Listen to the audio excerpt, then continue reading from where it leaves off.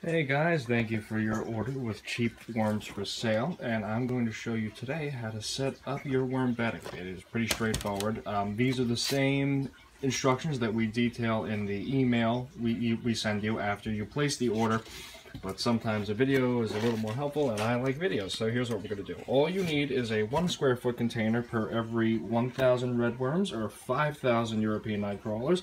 You could pick this up for less than a, at the dollar store for a dollar or at Walmart or Target. Um, it's very cheap, very affordable. And here is our package of worms. Congratulations, they arrived. So we ship with all of our worm orders a sample of our proprietary bedding blend. This uh, this small bag is enough to fill your one square foot container for your worm order. If you order 2,000 worms, you're going to get two of these bags, 3,000, etc., etc. You'll notice that the bedding is dry. We are going to have to add water, but that's fine. So, prior to adding the worms, this is the hard part. This is the hardest part of the entire thing is making sure you get the water right. There's just a little bit of water. You don't have to add a lot. And then you're going to have to play with it. Uh, this is why I prefer our bedding mix, uh, you know, just to regular peat moss or coconut coir because our bedding mix is much more accepting of water than the other bedding mediums that are out there. Um, we we've been using this. It's quick, it's easy, and it's really it's it's really hard to mess up.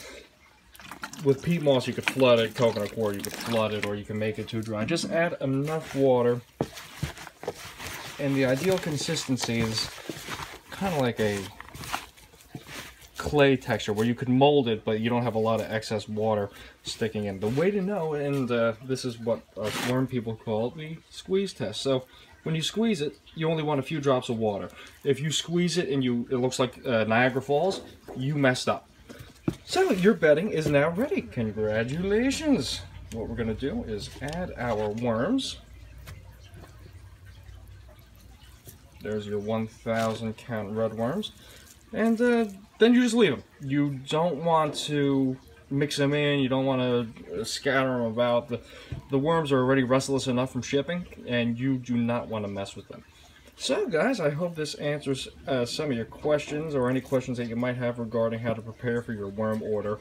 Um, like I said, um, all of our worms ship with free bedding so that your setup is as quick and easy as possible. Just add water, literally. I sell bags of bedding. Uh, they're gallon bags. This this was a quart bag for this uh, setup here.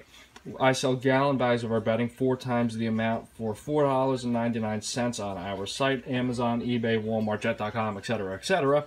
And the worms go for twenty nine ninety nine per pound, uh, with shipping included. So. If you have any questions, uh, be sure to reach out to us via email at support at cheapwormsforsale.com or uh, just comment on the video, comment on the post, uh, what have you. There are many ways to get in contact with us, and um, if you're viewing this after ordering on eBay or Amazon, just send us an email through there, and we'll be sure to get back to you in no time. Thanks again for your order, and we hope you enjoy your worms. Thanks again from cheapwormsforsale.com.